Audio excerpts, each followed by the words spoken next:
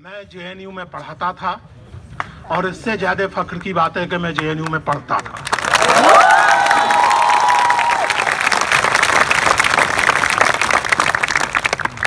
मुझसे अभी आज ही मेरे फेसबुक पर किसी नौजवान लड़की ने पूछा कि, सर, क्या आप जेएनयू में पढ़ते थे? तो मैंने कहा, मैं पढ़ता भी था और पढ़ाता भी था। दोनों चीज़ों का मुझे फख्र है। और उस लड़की ने लिखा जो मुंबई की है, और सर, मुझे अफसोस है कि मैं जेएनयू की स्टूडेंट नहीं हूँ। दोस्तों, जेएनयू केवल एक संस्था का नाम नहीं है। जो लोग ये कह रहे हैं कि जेएनयू को बंद कर दिया जाए, वो बेवकूफ़ नहीं है। वो बहुत समझदार लोग हैं। वो जब ये कहते हैं कि जेएनयू को बंद कर दिया जाए तो वो पढ़ने लिखने की, उस कल्चर को बंद करने की मांग कर रहे हैं, जिसके तहत कॉमरेड वृंदा कराज जाते जाते एक वाक्य कहती हैं कि मेरे पास वक्त होता तो नेशनलिज्म पर जो क्लास यहाँ होने वाली है, मैं उसे अटेंड करती। ये उस कल्चर का। आप उन लोगों से इसकी तुलना कीजिए और उन लोगों की तकलीफ़ समझिए। जो अव्वल तो कुछ जानते नहीं है, लेकिन समझते ये हैं कि वो सब कुछ जानते हैं जो जानना चाहिए। देखिए, एक बात कही जाती है। अंग्रेज़ी में कहावत है कि इग्नोरेंस इज़ ब्लिस और उसका मैं अपने ढंग से उसका हिंदी में अगर विस्तार करूँ तो अज्ञान जो है, वो बहुत सुखद होता है। और अहंकार से पैदा होने वाला अज्ञान तो अब इतना सुखद होता है कि आगे बोलूँगा तो मुझ चलेगा तो ये जो स्थिति है। दोस्तों, बात की जाती है राष्ट्रवाद की। किस तरह का राष्ट्रवाद? संवैधानिक मूल्यों पर आधारित राष्ट्रवाद? जनता की आम राय पर, लोकतांत्रिक प्रक्रियाओं पर आधारित राष्ट्रवाद? बहुलता से भरे इस देश और समाज में सभी की बहुलता का सम्मान करने वाला और उसको समावेश करने वाला राष्ट्रवाद? या केवल एक खास इलाके के या खास भाषा बोलने वालों के, या खास मज़हब को, या धर्म को मानने वालों की दादागिरी का राष्ट्रवाद। कौन सा राष्ट्रवाद होना चाहिए? राष्ट्रवाद की लोग, यानी एक तो भाई, मीडिया के लोग मौजूद हों तो मुझे माफ़ करें। ज़िंदगी भर प्रोफेसर रहा हूँ तो इस तरह की बातें करने की आदत अभी तक छूटी नहीं। यार, मीडिया में आजकल दाखिल होने के लिए पढ़ने लिखने की शर्त बिल्कुल हटा दी गई है।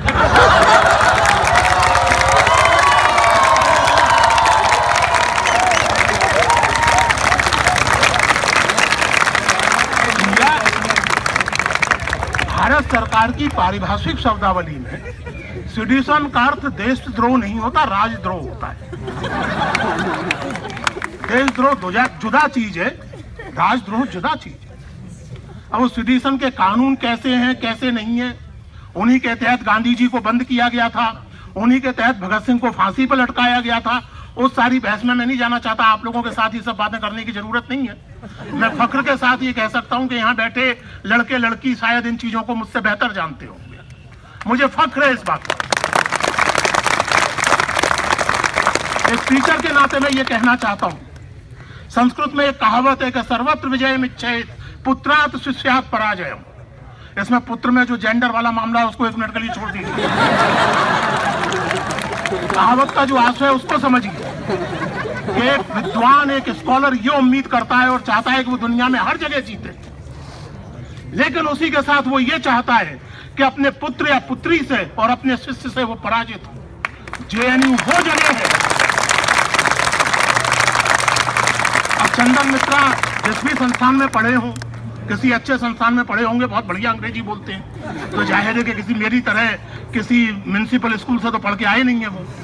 मैं तो अभी भी ठीक से अंग्रेज़ी नहीं बोल पाता, आप देख ही रहे तो पता नहीं वो कहाँ पढ़े लेकिन लेकिन मैं इस जेएनयू में पढ़ा हूँ और इस जेएनयू में मैंने पढ़ाया है। हमारे सीने चौड़े हो जाते थे उस समय बतौर स्टूडेंट के। जब क्लास लेते हुए नामवर सिंह कहते थे कि यार तुम लोग जिस तरह के सवाल पूछते हो तो एक दिन भी बिना तैयारी के तुम्हारे सामने आना खतरे से खाली और नामवर सिंह होने का क्या मतलब होता है? या प्रभात पटनायक होने का क्या मतलब होता है? इसे मीडिया वाले जाने या ना जाने? राष्ट्रवादी जाने या ना जाने जेएनयू के लड़के लड़कियाँ जाने। हम भी जानते थे और आप लोग भी जानते हमें फक्र होता था जब कोई लड़का, कोई लड़की हमारे सामने ऐसे सवाल रख देता था कि हम कहते थे कि यार कल बताएँगे। This is J N U and this is the culture of study and struggle which these people want to shut down because they have never studied and they have never studied. वो problem ये होती है कि कोई चीज़ खाम खामे हाथ में आ जाए तो उसका मोल समझ में नहीं आता। आदमी बोरा जाता है। एक प्राणी विशेष के हाथ में एक अस्त्र विशेष आ जाए तो वो अपनी नाक काट लेता है। मैं किसी का नाम नहीं ले रहा हूँ भाई। फिर भी आप लोग ना जाने क्यों हंसे जा रहे हैं। ये खुद नहीं समझ में आ रहा। दोस्तों मैं एक बात केवल कहना चाहता हूँ। दो दो एक बातें सलाह इतनी इजाज़त है सलाह हाँ, हाँ हाँ। मैं मतलब चूँकि बात चली है तो सबसे पहले एक तो मैं आदरणीय मोदी जी का राजनाथ जी का बस्सी साहब का धन्यवाद करना चाहता हूँ। और उसका बड़ा निजी कारण है। पिछले कई सालों से मैं शेखर गुप्ता से लगातार असहमत चला रहा था। एक दो बार टीवी अभी भी बहस हुई थी और वैसे भी वो न्यू लिबरल किस्म के आदमी है। मैं अपना पुराना डायनासोर किस्म का वामपंथी तो वो हमारी आपस में बनती नहीं मैं पहली बार जीवन में उनसे सहमत हूँ। अगर आप लोगों ने उनका कल का ट्वीट देखा हो कि इतना मज़ेदार खाकी वाला सोले के असरानी के बाद दूसरा नहीं।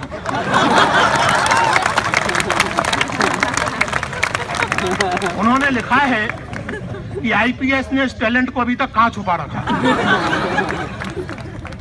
सौभाग्य से या दुर्भाग्य से आईपीएस आईएएस चुनने की प्रक्रिया से भी कुछ समय तक मेरा संबंध रहा है। और मुझे मानना पड़ेगा शेखर गुप्ता से सहमत होना पड़ेगा कि ऐसी प्रतिभा कम से कम मैंने अपने कार्यकाल में न थी वो सचमुच हमारे जो आदरणीय हैं, वो भूतों न भविष्य प्रकार के व्यक्ति। अद्भुत है साहब। कोर्ट के अंदर वकीलों पर हमला हो रहा है। सुप्रीम कोर्ट तिलमिला रहा है। मैं थोड़ा बहुत इन चीज़ों को जानता हूँ, इसलिए जब सुप्रीम कोर्ट किसी को अपना कमिश्नर बना के भेजता है तो उसका कुछ मतलब होता है। ये पाँच वकील, छह वकील अपनी प्राइवेट कैपेसिटी में नहीं आए थे। एज कमिश्नर साहब सुप्रीम कोर्ट वो आते हैं और सारा कुछ हो जाने के बाद उनको भी हैकल किया जाता है। उनके खिलाफ भी नारे लगते हैं। और बस्ती जी टेलीविज़न पर खड़े होकर शेर सुना रहे अद्भुत लोग दोस्तों, बात केवल जेएनयू की नहीं है। मैंने जैसे आपसे कहा कि बात एक खास तरह की एकेडमिक कल्चर की है। बात एक खास तरह की पढ़ाई लिखाई के ढंग की है। बात उस संस्कृति की है जिसमें मेरे सामने बैठा मेरा छात्र मुझसे असहमति प्रकट कर सकता है, बिना इस खतरे के उसका देश जिसमें मेरा कोई छात्र मेरी कही हुई या लिखी हुई किसी बात के खिलाफ बहुत तीखा रिव्यू लिख सकता है, बहुत तीखा लेख लिख सकता है और फ़ोन करके स्वयं मुझे सूचना दे सकता है कि सर आपकी किताब का रिव्यू मैंने किया है, आपने देखा है। और मैं उससे कहता हूँ कि हाँ वक्त देख लिया, मैं भी जवाब दूँगा, चिंता जेएनयू उस कल्चर का नाम। और बात केवल जेएनयू की नहीं है दोस्तों। मैं खास करके उन लोगों से निवेदन करना चाहूँगा जिनको लगता है कि हम चूँकि सब जेएनयू वाले हैं और इसलिए हम इसीलिए हम तो हंगामा इसीलिए कर रहे हैं। आप कहते हैं शट डाउन जेएनयू। हमारा निवेदन यह है कि let every Indian university become like JNU.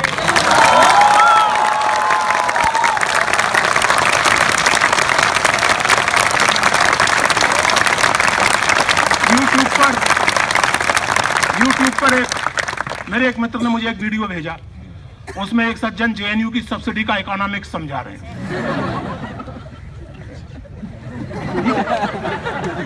वो ज़ाहिर है कि बड़े भारतीय परंपरा के प्रेमी हैं, वैदिक परंपरा के प्रेमी हैं। उनसे तो मेरा परिचय है नहीं।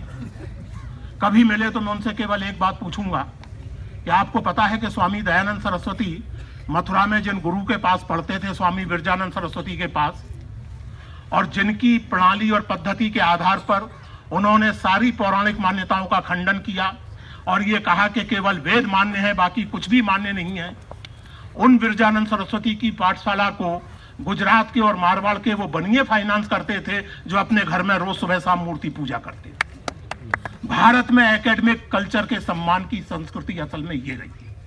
कि आप कितने भी विरोधी क्यों ना हो लेकिन अगर आप स्कॉलरली काम कर रहे हैं, अगर आप इंटेलेक्चुअल एक्टिविटी कर रहे हैं तो आपका सपोर्ट करके हम आप पर एहसान नहीं कर रहे, बल्कि आप लाखों की नौकरी करने की बजाय, करोड़ों के, क्या कहते हैं उसको पैकेज वो लेने की बजाय अगर सोशल साइंस में रिसर्च कर रहे हैं तो आप देश और समाज के ऊपर एहसान कर।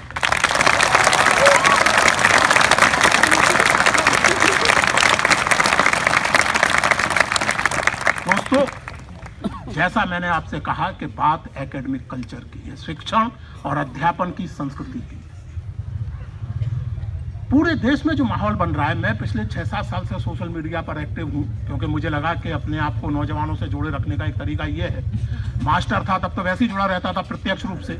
अब प्रत्यक्ष नहीं तो वर्चुअल रूप से तो जुड़ा रहा। हूँ तो मैं देखता हूँ, अद्भुत स्थिति है मित्रों, और ये बहुत चिंताजनक है, बहुत ही चिंताजनक। है आप देखेंगे कि धीरे धीरे कोशिश ये की जा रही है कि इंटेलेक्चुअल लगभग एक टर्म ऑफ़ एब्यूज में बदल जाए। इंटेलेक्चुअल होना गोया अपराध हो गया है। इंटेलेक्चुअल होना जैसे कोई बड़ा अपराध जैसे कोई बड़ा मॉरल या लीगल क्राइम हो गया है। दूसरी ओर फोर्स का ग्लोरिफिकेशन लपक लपक के आप लड़के लड़कियों को पकड़ लेते हैं उन पटांग सबूतों के आधार पर। आम आदमी पार्टी का मिनिस्टर है सिटिंग मिनिस्टर है, उसने अपराध किया है, नहीं किया है, वो अपनी जगह सिटिंग मिनिस्टर को आप उठा के ले जाते हैं।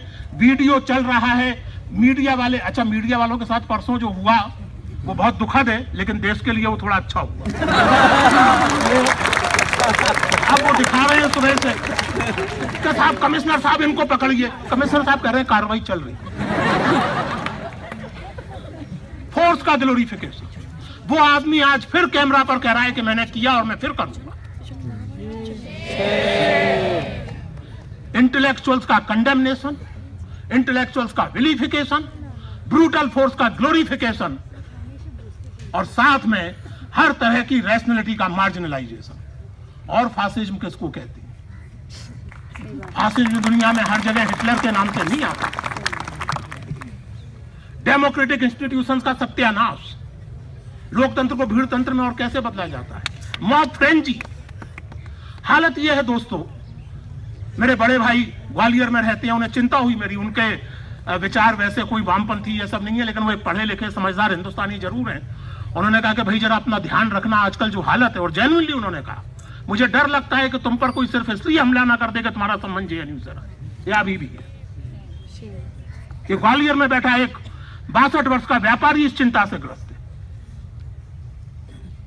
मॉब फ्रेंजी को आप जस्टिफाई कर रहे हैं। इस देश का गृह मंत्री कहता है कि वहाँ कोई हत्या थोड़ी हो गई सुप्रीम कोर्ट में जो आप पटियाला कोर्ट में जो इतना हल्ला मचा रहे ये इस देश के गृह मंत्री का बयान है। इस नगर का पुलिस कमिश्नर कहता है कि it was a minor scuffle और उसके बाद आज आप कन्हैया कुमार को पेश करते हैं तो दो पुलिस वालों के साथ पेश करते हैं, जबकि सुबह से वहाँ हंगामा चल रहा है। दोस्तों, लोकतंत्र केवल वोट का नाम नहीं होता लोकतंत्र संस्थाओं की मर्यादा को कहते हैं। You can not imagine a democracy without institutional norms and their respect and mob frenzy and democracy are actually antithetical यहाँ इतने सारे लड़के लड़कियाँ मौजूद हैं, इतने तनाव में हैं। भाई, आप लोग जेएनयू वाले वाकई बहुत परेशान करने वाले सबको अपने कमरों में घुस के बैठना चाहिए था, डर जाना चाहिए था। वाइस चांसलर तो उनके सामने साष्टांग करते होना चाहिए था। आप यहाँ बैठ के मार गाने गाए जा रहे हैं, दांत निकाले जा रहे हैं। तो क्यों ना चंदन मित्रा कहें कि बंद कर दो पकड़ के?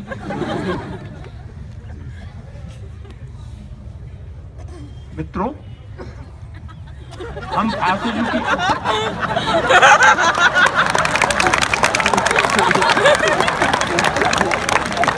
तुम्हारा नाम क्या हाँ? नंदा की ट्यूबलाइट देर से जली। हाँ दोस्तों, मैं ये कह रहा था कि फासिज्म कोई लिख के नहीं आता है।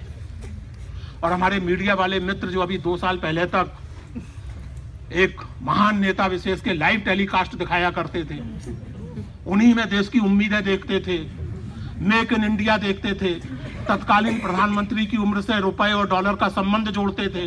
भाई दबे आज की खबर यह है कि डॉलर मेरा ख्याल है उनहत्तर रुपए के आसपास पहुँच गया है। और वो इस समय किसकी उम्र के पास है, भगवान जाने प्रधानमंत्री की उम्र से भी ज़्यादा हुआ प्रधानमंत्री जी की उम्र जहाँ तक मेरी जानकारी है, पैंसठ, छियासठ साल।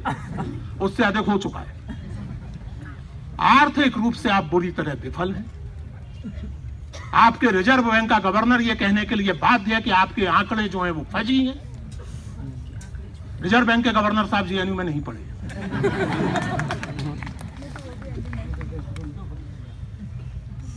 आपके आपके समर्थक फॉरेन पॉलिसी एनालिस्ट ये कहने को बाध्य हैं कि आपकी फॉरेन पॉलिसी लगातार असफल हो रही है। नेपाल जैसे देश में भारत के खिलाफ नारे लग रहे नेपाल पाकिस्तान नहीं है। नेपाल अभी 10-12 साल पहले तक नेपाल अभी दस बारह साल पहले तक संवैधानिक रूप से दुनिया का अकेला हिंदू राष्ट्र हुआ करता था। वहाँ भारत के खिलाफ नारे लग रहे हैं। धन्य है ये विदेश नीति। चौतरफा आपका फेल्योर है। विदेश नीति पर अर्थ नीति पर, सामाजिक नीतियों पर। आप मनरेगा को कांग्रेस की विफलता का स्मारक बताते थे। आज आप ही फरमाते हैं कि मनरेगा से तो बहुत काम हुआ है। इसका बड़ा अच्छा असर पड़ा है। आदि आदि।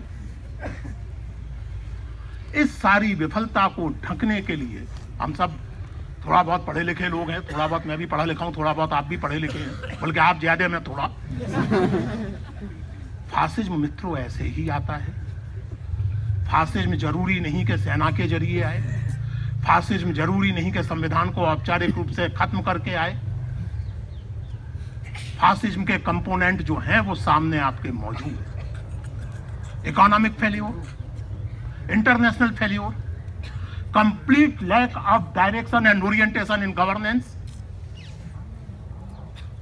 therefore creation of deliberate creation of mob frenzy, marginalization of rational thinking, demonization of intellectuals, and disrespect and disintegration of institutions. Friends, we are in the real threat of fascism in this country today. And please don't clap on that. Don't behave like certain people who who carry camera and gun in their hands. Gun, I mean, वो बात करने वाली gun यार गोली वाली gun नहीं कह हूँ I mean, we are living in strange situations. And we are living in a very dangerous moment और इसलिए मैं उस लड़की की बात समझ सकता हूँ जिसने मुझे लिखा था कि सर मुझे अफसोस है कि मैं जेएनयू के स्टूडेंट नहीं हूँ क्योंकि वो लड़की इस बात को रियलाइज़ कर रही है कि बात केवल निर्भया बलात्कार कांड की नहीं, बल्कि जब भी इस देश में डेमोक्रेटिक राइट्स पर हमला हुआ है, जब भी इस देश में किसी भी रंग का, किसी भी क्वार्टर से फासिज्म में आने की कोशिश की है तो ये यूनिवर्सिटी उसके खिलाफ लड़ने में सबसे आगे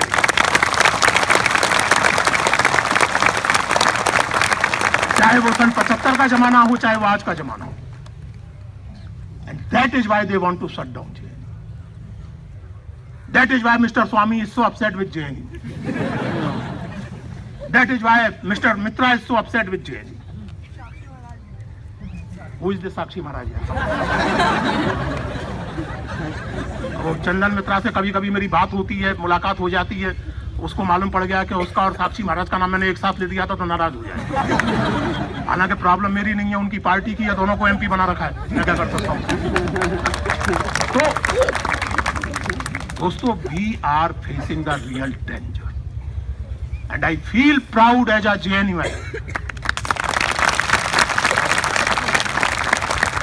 I feel proud as a JNUite that these young boys and girls are not fighting for the autonomy of their university only.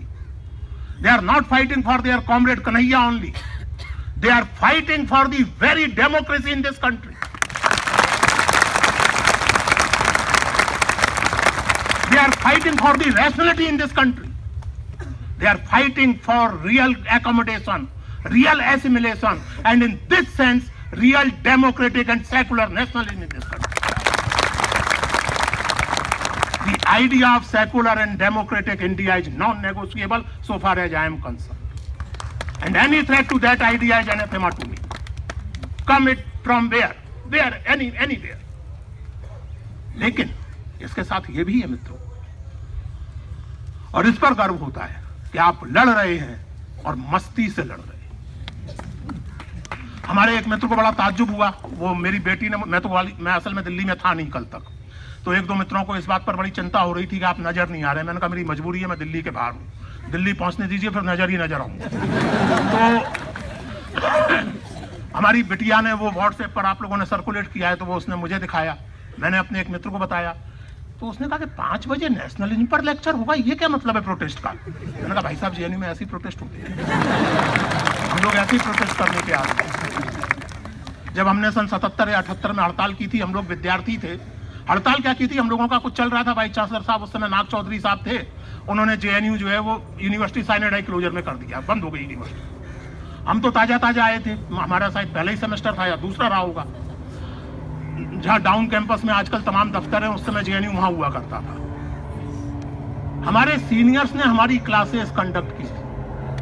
महीने भर तक जेएनयू बंद रहा ऑफिशियली महीने भर तक जेएनयू बंद था, लेकिन उस एक महीने में हमारी पढ़ाई बंद नहीं थी।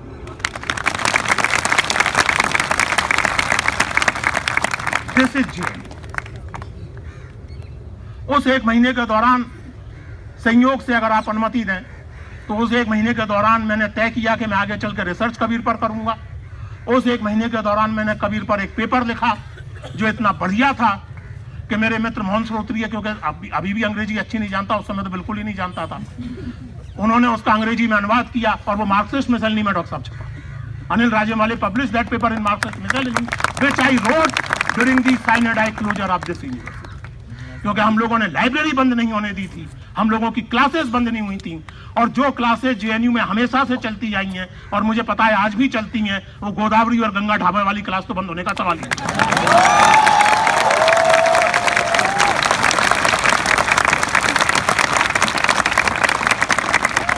मुझे फख्र है दोस्तों जेएनयू का होने पर, अध्यापक होने पर और उससे पहले छात्र होने पर। मुझे फख्र है कि आज मैं आपके सामने खड़ा हूँ और इतने सारे नौजवान लड़के लड़कियों के बीच में जो स्ट्रगल कर रहे हैं तो पढ़ाई के साथ कर रहे हैं।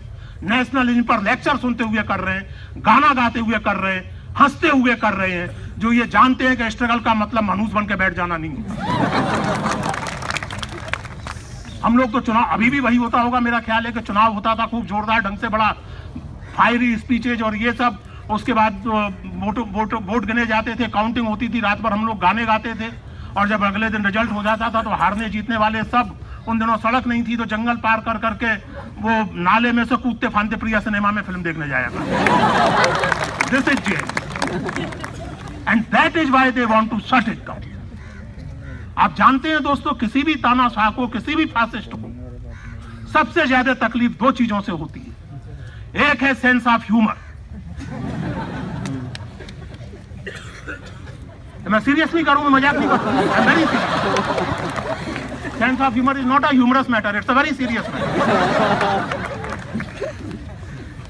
विचारधारा विशेष के लोगों को आपने कभी बढ़िया चुटकुले करते देखा है?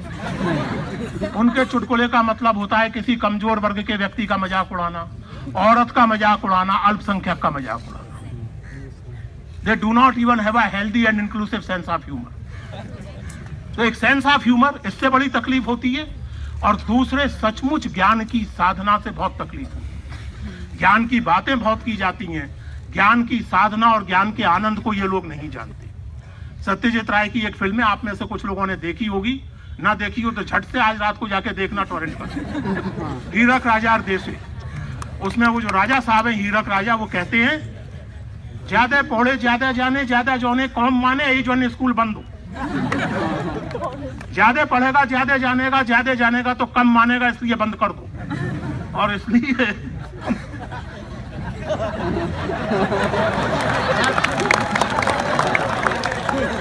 एक तो देखो, टीचर होने के नाते पचास मिनट की क्लास की आदत। और उसके बाद आप जैसे श्रोता, जो आजकल हिंदुस्तान भर में कहीं नहीं मिलते, मुझे केवल ये कहना है, दोस्तों young friends and young comrades keep it up JNU जिंदाबाद।